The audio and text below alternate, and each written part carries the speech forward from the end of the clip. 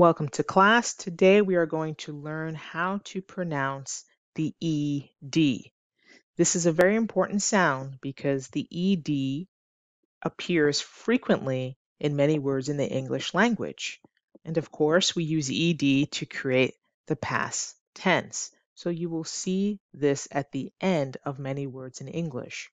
However, it's a sound that is commonly mispronounced by students and they struggle with this. Why? Well, in English, the ED creates three sounds. That's right, three separate sounds. So if we use the first example with the word wanted, you notice the ED at the end, and do you notice the sound that that ED makes? Wanted, id. So the first sound that the ED makes in English is the id sound, such as in wanted, needed.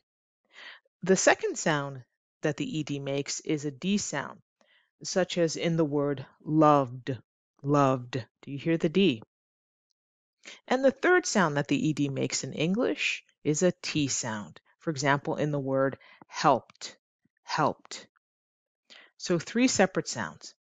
You'll be happy to know that there is a grammar rule that helps us to know which sound to use. Which sound do you think most students use? That they give to all the words that end in ed. That's right, it's the id sound. So instead of saying loved, what I often hear is loved, loved, but that's not correct. Or helped becomes helped, helped. That's not correct. It's helped, T sound.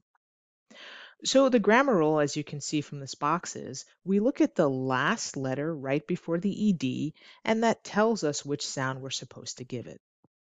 So with the id sound, we only give the id sound if the last letter before the ed is a T or a D. And you'll notice in the next column with the D sound and then with the T sound, we're looking just at the last letter if that letter is a P, K, F, a G, H, S, H, C, H, S, S, C, or X, we give it a T sound. And then if we're going to give it a D sound, that last letter has to be an L, an N, an R, a G, a V, an S, a Z, an M, or an M. So that's how we know. That's the grammar rule. So you might be thinking, oh my goodness, how in the world will I remember? Do I have to check the letter and then remember? One of the best ways to learn this is through reading. So I would not suggest memorizing all of this. Certainly understand why we give it one of those three sounds. But learn through reading. You should just know when you see the word, for example, loved, that it's a D sound, that it's pronounced loved because we use it frequently, we hear it often, and it's loved. If you ask a native speaker, why is it loved and not loved? They really won't know the grammar rule. It's because we didn't learn to pronounce words using this grammar rule. So hopefully you're more comfortable understanding why the ED is difficult and that it has three sounds in English. Be careful, don't give the id sound to every ED word in the English language, and that's often what students do. See you in my next class.